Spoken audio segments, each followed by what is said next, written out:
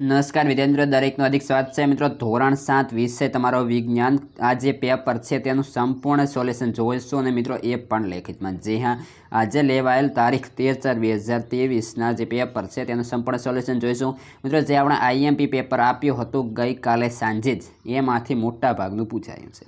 તો ચાલો જોઈએ, આ મિત્રો, જે આ તફાવતને જે છે, એ આપણે પાછળથી લેખિતમાં સોલ્યુશન જોઈ લઈશું. સૌપ્રથમ શરૂઆત કરીએ અહીંથી.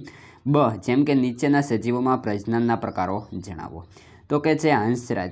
તો બીજાણુ સર્જન દ્વારા પ્રજનન, એટલે કે બીજાણુતાની.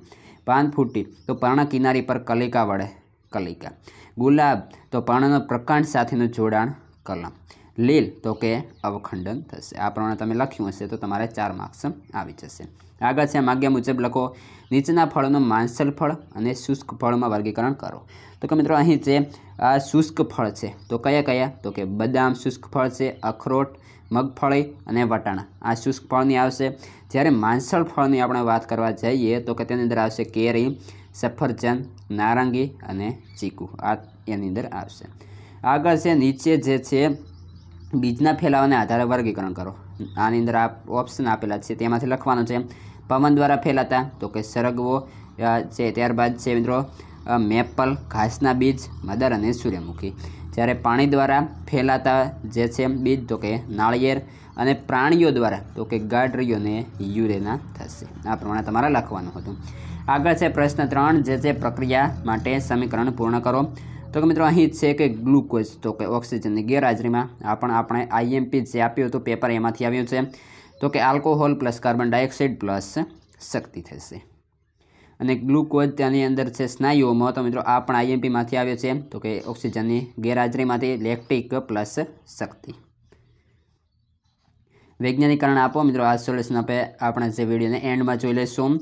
અહીં છે કે, મિત્રો, જે નીચેના પ્રશ્નો માંગે મુજબ ઉત્તર લખવાના હતા. ચાર પ્રશ્નો છે અને આઠ માર્ક્સ એટલે કે દરેકના બે ગુણ રહેશે.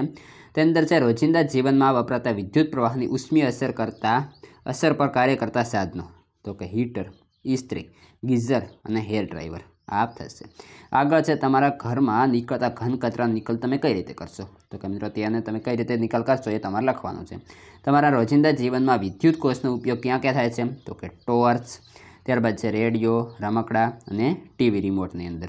આ પ્રમાણે તમે જે છે અલગ આપણે પ્રશ્નો જોઈશું પ્રશ્ન છ છે, ખાલી જગ્યા પૂરવાની છે. તેની અંદર મિત્રો લખેલ છે સૌપ્રથમ કે આપણે ઉચ્છ્વાસ દરમિયાન કાર્બન ડાયોક્સાઇડ વાયુ બહાર કાઢીએ છીએ. અને જો લેવામાં આવે તો ઓક્સિજન આવશે, પરંતુ અહીં જવાબ આવશે સીઓ ટુ એટલે કે કાર્બન ડાયોક્સાઇડ. જે સૂક્ષ્મ જીવો મૃત વનસ્પતિને પ્રાણીઓને કાળા સેન્દ્રિય પદાર્થમાં ફેરવે છે તેને વિઘટકો કહે છે. કોલેરા, ટાઇફોઇડ અને કમળો પાણી દ્વારા થાય છે. આ પણ આપણે ગઈકાલે આઈએમપીમાંથી આવ્યું છે. અળસિયા ત્વચા દ્વારા શ્વસન કરે છે. પાણીને જંતુરહિત રાખવા, ખાલી જગ્યાને વાયુ પસાર કરવામાં આવે છે. આ તમારે કોમેન્ટ કરવાની રહેશે. પ્રકાશ સુરેખ ગતિ કરે છે. ત્યારબાદ છે મિત્રો આ પ્રશ્ન છે કે અંતરગોળ અરીસાના ઉપયોગ તો કે દાંતની અંદર જે ડૉક્ટર આપણે જે જોતા હોય ત્યારબાદ સ્કૂટની જે છે હેડલાઇટ માટે વપરાય છે. આગળ જે છે અહીં દાખલા છે, બીજા નંબરનો દાખલો આપણે સોલ્વ કરીએ તો કે બે સ્ટેશન વચ્ચેનો અંતર ત્રણસો છે ટ્રેનને આ અંતર કાપવા માટે ચાર કલાક લાગે. તો કે ઝડપ બરાબર અંતર ભાગ્યા સમય, આ તેનું સૂત્ર છે. તો ઝડપ છે ત્રણસો વીસ, ભાગ્યા સમય લાગ્યો ચાર કલાક, તો તેની અંદર એંસી કિલોમીટર જે છે હશે. આગળ છે.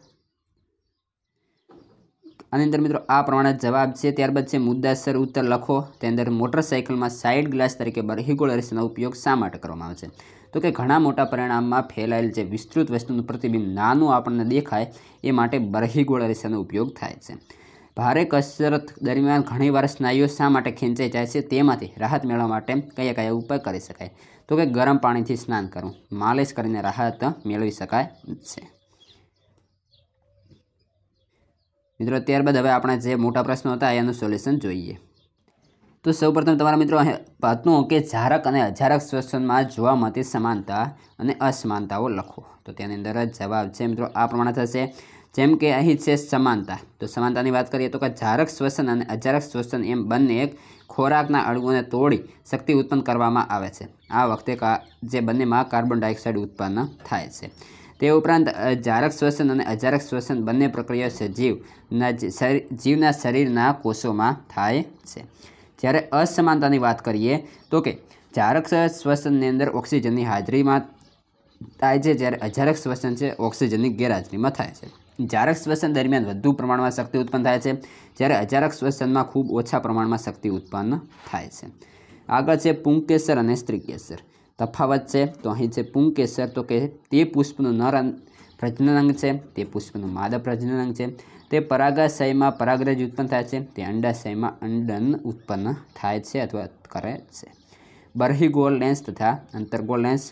તો કે બરહીગોળની અંદર તે કિનારાવાળી ભાગ કરતાં વચ્ચેનો ભાગ જાડો હોય છે. તે કિનારાવાળા ભાગ કરતાં વચ્ચેનો ભાગ પતળો હોય છે.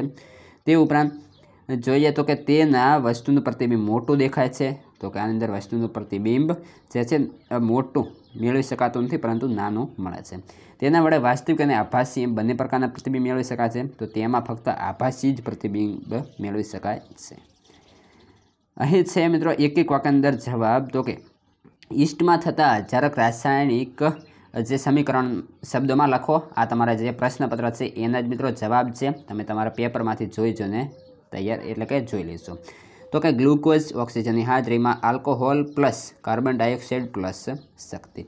પવન દ્વારા બીજનો ફેલાવો થતો હોય તે વનસ્પતિ. તો મિત્રો, આ તો આપણે ઉપર જોઈ લીધું છે. માંસલ ફળોને આ મિત્રો બેઠે બેઠા આપણે આઈએમપીમાંથી આવ્યા છે. ત્યારબાદ છે, વૈજ્ઞાનિક કારણ આપો, વસ્તી વધારો ભૂમિય જળસ્તરમાં ઘટાડો કરે છે.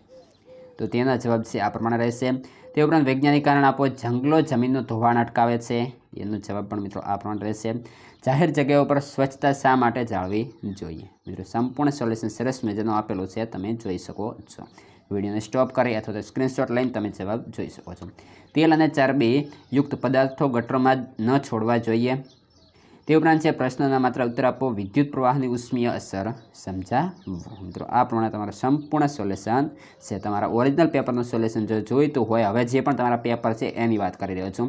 તો એનું ઓરિજિનલ પેપર જે મિત્રો છે, એ આપણી પાસે ઉપલબ્ધ છે જેનું લેખિતમાં સોલ્યુશન તમને આ વિડીયોના ડિસ્ક્રિપ્શનમાં અથવા તો પછી આપણી ચેનલ પર મળી રહેશે.